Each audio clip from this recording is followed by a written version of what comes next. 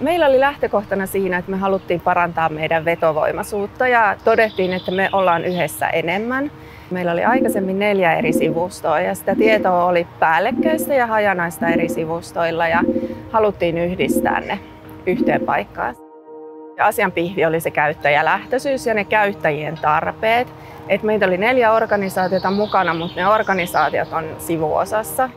Välillä se oli vähän vaikeaa muistaa, että nyt ei tehdä organisaation näkökulmasta, mutta ne käyttäjät aina sai meidät oikeaan suuntaan ja linjaan. Että koko aika pidettiin mielessä, että kenelle me tätä tehdään ja mitä varten.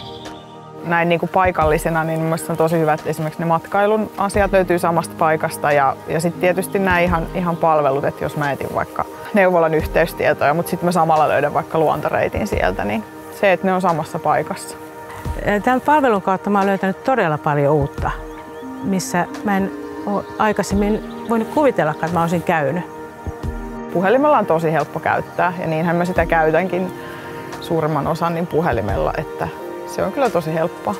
Todella hyvät niin kuin nämä haut ja myöskin niin kuin tämmöiselle eläkeläiselle niin ihan helppo käyttää. Ja me käytettiin siinä projektin eri vaiheissa heti alusta lähtien niitä käyttäjäryhmiä testaamassa ja pyydettiin palautetta sekä asukkailta, matkailijoilta että yrittäjiltä ja sitten organisaatioiden henkilöstö oli siinä vahvasti mukana. Me saatiin antaa vinkkejä siihen, että miten yrittäjät etsii tietoa nopeasti tietenkin ja helpolla tavalla halutaan tieto löytää ja, ja meitä kuunneltiin. Parasta on se, että nyt kaikki yrittäjiä, yrityksiä koskeva tieto löytyy sieltä yhden valikon takaa. Oli sitten kyse alueelle sijoittumisesta, toimitiloista, yritysneuvonnasta, verkostoista. Nyt on se yksi paikka, mistä hakea se kaikki tieto. Tämä on niin kuin aika ainutlaatuista yhteistyötä, että on kaupungin ja matkailun ja seutuviestinnän asiat samassa paikassa.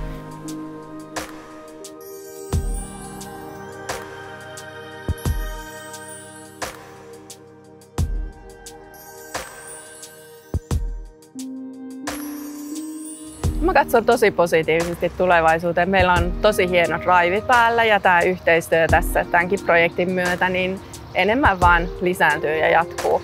Tämä hyödyttää meitä kaikkia ihan älyttömän paljon, että yhdessä me ollaan vahvempia. Kulttuurielämä, yrityselämä, kaupungin imanko, kaupungin palvelut, kaikki hyötyy.